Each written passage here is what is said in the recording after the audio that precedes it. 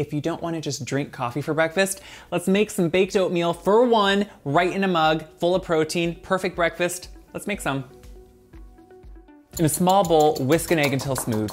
Add a half cup of old-fashioned rolled oats, a half cup of your favorite milk. You can use dairy or non-dairy, whatever you choose. Two tablespoons of your favorite protein powder, quarter teaspoon of cinnamon, and maple syrup to taste. It just depends if your protein powder is sweetened or not. Mix that all up until it's combined. Now pour it into a 12 ounce container. It can be a mug, it can be a ramekin, whatever you have. Put it into the microwave for two to three minutes. My microwave takes about two minutes, but yours could take a little longer. It will puff up while it's baking in the microwave. But once it comes out, it will fall back down. So make sure you have the right size container. After two to three minutes, depending on your microwave, it's ready to eat. You can just top it with a few blueberries. And if you want to, you can add some more maple syrup, but honestly, this is the perfect breakfast and it's ready to eat. Mmm, perfectly baked oatmeal in the microwave. I think you're gonna like breakfast.